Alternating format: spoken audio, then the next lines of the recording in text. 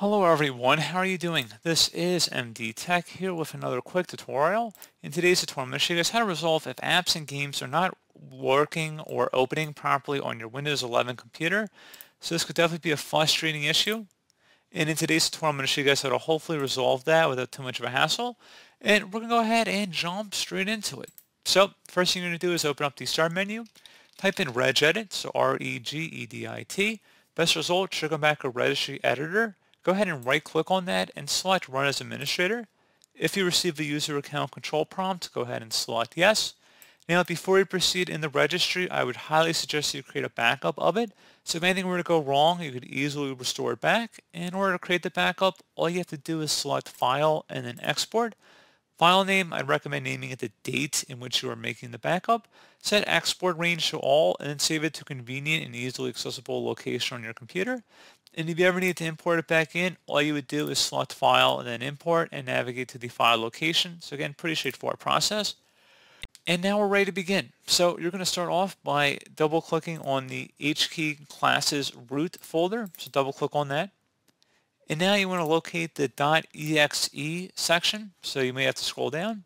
You can also just click on one of the folders and just start typing it. So you can see it says .exe.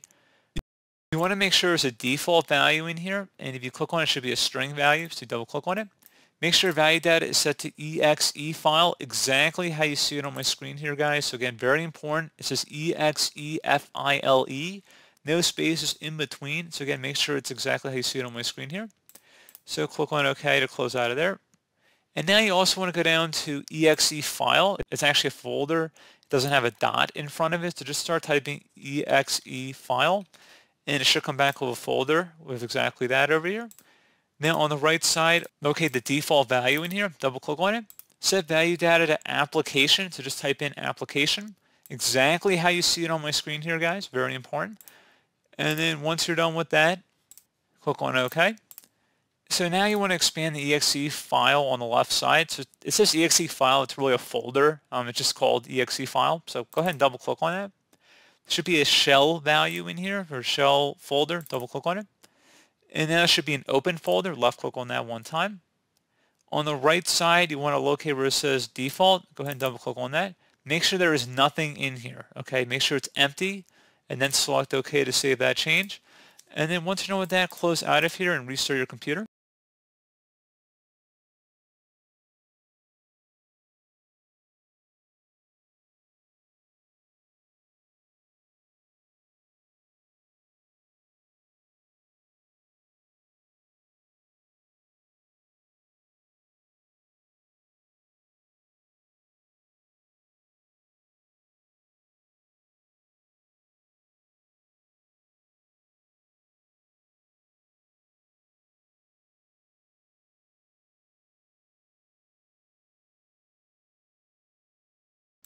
And there you go, guys. That should hopefully be about it.